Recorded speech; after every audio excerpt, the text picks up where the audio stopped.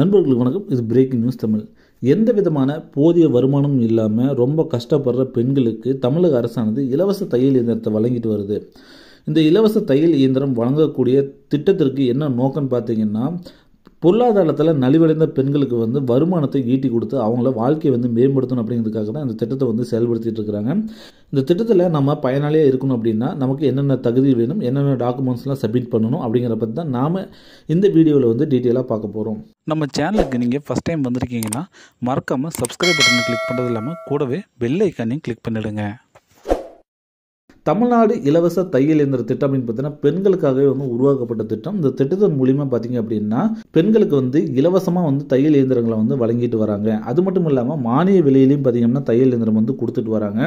தமிழகத்தில் இருக்கக்கூடிய அரசு பள்ளியில் படிக்கக்கூடிய மாணவ மாணவிகளுக்கு இலவச சீருடை வழங்குவதற்காக துணியானது பார்த்திங்க அப்படின்னா முப்பத்தி ரெண்டு கட்டிங் செக்ஷன் வந்து தமிழ்நாட்டில் வந்து செயல்படுது. அந்த முப்பத்தி ரெண்டு கட்டிங் செக்ஷனுக்கு வந்து பார்த்திங்கன்னா துணிகளை வந்து இலவசமாக வந்து கவர்மெண்ட் ஆனது கொடுத்து அவங்க மூலியமாக பார்த்தீங்க அப்படின்னா இலவசமாக தையல் இயந்திரத்தை வழங்கி அவங்களுக்கு வந்து தையல் என்ன அப்படிங்கிறத வந்து சொந்தமாக கற்றுக் கொடுத்து அதுக்கப்புறமேட்டு அவங்களுக்கு வந்து இந்த சீருடை தைக்கிறதுக்கான பணி வாய்ப்பையும் பார்த்திங்கன்னா தமிழக அரசானது வழங்கிட்டு வராங்க.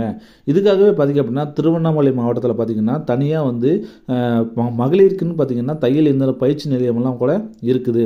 ஸோ அந்த இடத்துல தைத்து முடிக்கப்பட்ட அந்த சீருடைகள் அனைத்தையுமே பார்த்திங்க அப்படின்னா தமிழகத்தில் இருக்கக்கூடிய டிஇஓக்களுக்கும் ஏஇஓக்களுக்கும் பார்த்திங்க அப்படின்னா பிரித்து கொடுக்கப்படுகிறது. ஸோ அந்தந்த மாவட்டத்தில் இருக்கக்கூடிய பள்ளிகளுடைய மாணவ மாணவிகளுடைய ஸ்ட்ரென்த்தை பொறுத்து பார்த்திங்க அப்படின்னா அந்தந்த ஸ்கூலுக்கு வந்து அதெல்லாம் ஒதுக்கப்பட்டு பள்ளி மாணவ மாணவிகளுக்கு வந்து கொடுக்கப்படுது.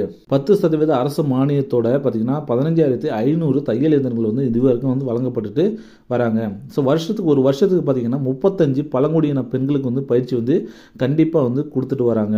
ஸோ இந்த திட்டத்தில் யார் யாரெல்லாம் வந்து பயன்பெற முடியும்னு பார்த்திங்க அப்படின்னா விதவைகள் கைவிடப்பட்ட மனைவிகள் பொருளாதாரத்தில் நலிந்த பிரிவை சார்ந்த பெண்களாக இருக்கலாம் அல்லது மாற்றுத்திறனாளி ஆண்கள் மற்றும் பெண்களாக இருக்கலாம் சமூக ரீதியாக பாதிக்கப்பட்ட பெண்களாக இருக்கலாம். ஸோ இவங்கெல்லாம் பார்த்தீங்க அப்படின்னா கண்டிப்பாக இதில் பயனடைய முடியும். விண்ணப்பிக்கிறதுக்கான தகுதி என்னன்னு பார்த்தீங்க அப்படின்னா விண்ணப்பதாரர் வந்து தமிழ்நாட்டில் நிரந்தரமாக வசிக்கக்கூடிய ஒரு நபராக இருக்கணும். ஸோ விண்ணப்பதாரர் வந்து இந்த நாம் மேலே ஏற்கனவே சொன்ன மாதிரி விதவிகள் கைவிடப்பட்ட மனைவிகள் பொருளாதாரத்தில் நலிந்த பிரிவை சார்ந்த பெண்கள் மாற்றுத்திறனாளி ஆண்கள் அல்லது பெண்கள் சமூக ரீதியாக பாதிக்கப்பட்ட பெண்கள் அப்படின்னு இதில் ஏதாச்சும் ஒரு கேட்டகரியில் இருக்கணும்.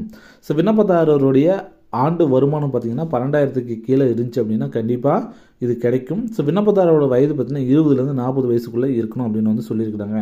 ஸோ என்னென்ன டாக்குமெண்ட்ஸ்லாம் தேவைன்னு பார்த்தீங்கன்னா உங்களுடைய Aadhaar card ration card passports அளவு உங்களோட ஃபோட்டோ அதுக்கப்புறம் பார்த்தீங்கன்னா உங்களோட கைபேசி எண் அல்லது ஐபேசி எண் மின்னஞ்சல் முகவரி வருமான சான்றிதழ் குடியிருப்பு சான்றிதழ் வயது சான்றிதழ் ஜாதி சான்றிதழ் தையல் தொழில் தெரிந்ததற்கான சான்றிதழ் கைவிடப்பட்ட மனைவி சான்றிதழ் சமூக சான்றிதழ் ஆதரவற்ற விதவை சான்றிதழ் ஊனமுற்றோர் மருத்துவ சான்றிதழ் அப்படின்ட்டு நிறையா டாக்குமெண்ட்ஸ் வந்து நீங்கள் வந்து சப்மிட் பண்ணுற மாதிரி இருக்கும்.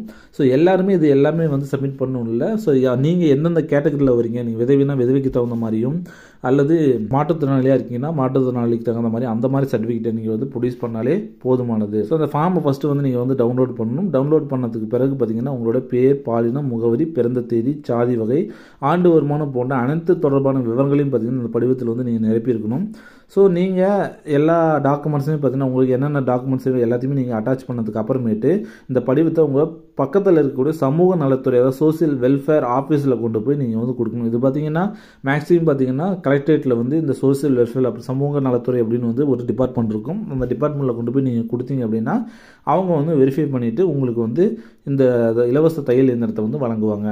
ஸோ இதுதான் வந்து தமிழக அரசு ஏழை பெண்களுக்கு கொடுக்கக்கூடிய ஒரு சிறப்பான திட்டம்.